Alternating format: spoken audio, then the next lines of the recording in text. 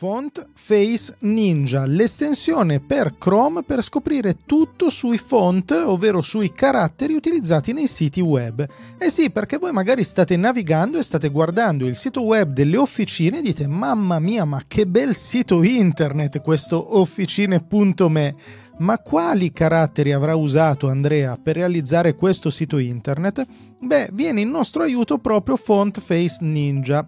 Se io vado su fontface.ninja e scendo un pochino verso il basso, a un certo punto troverò un pulsante Get It Now che mi porta sul Chrome Web Store all'estensione Fontface Ninja. La installo, cosa che io ho già fatto, ecco che la vedete qua nell'angolino in alto a destra, e a questo punto all'interno di qualsiasi sito web io posso cliccare sul mio bel ninja e lui quando io mi sposto con il mouse sopra un font mi darà tutte le informazioni su quel font, vedete? E quindi scopro che il buon Andrea Ciraulo, quando ha realizzato il suo meraviglioso sito, ha usato un font Rubik per i titoli e un font Open Sans per tutti gli altri testi.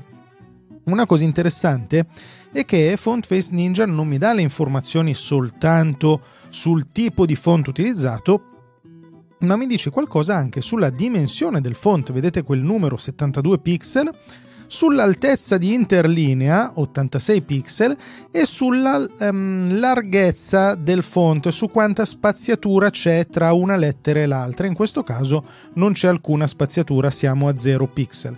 Così come mi dice il colore, in questo caso codice HTML FFFFF che vuol dire bianco.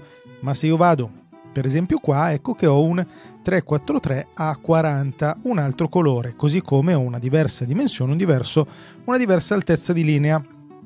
Ecco che io posso fare questa cosa su tutti i, test, i testi che trovo all'interno di un sito web. In questo caso, come potete vedere anche da questo riquadro, i font utilizzati in font in, nel sito delle officine sono soltanto due, Open Sans e Rubik. Vi faccio notare che i font gratuiti io posso già andarli a scaricare grazie a Fontface Ninja, oppure per quelli non gratuiti posso andare a cercare delle informazioni.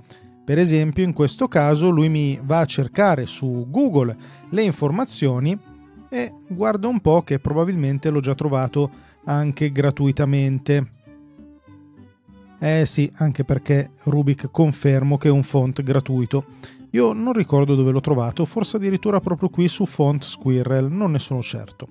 Ultima cosa che vi voglio far notare di Font Face Ninja è che il buon Font Face Ninja c'è prova anche con le immagini. Se io clicco su un'immagine, per esempio facciamo questa di Passione Podcast, lui analizzerà l'immagine e proverà a indovinare il font utilizzato in quell'immagine. Vedete che qua fa tre tentativi Devo confessarvi che non ha indovinato nel caso delle immagini di Passione Podcast perché non è nessuno di questi tre. Ammetto di non ricordare il nome, ma sono piuttosto certo che non sia uno di questi.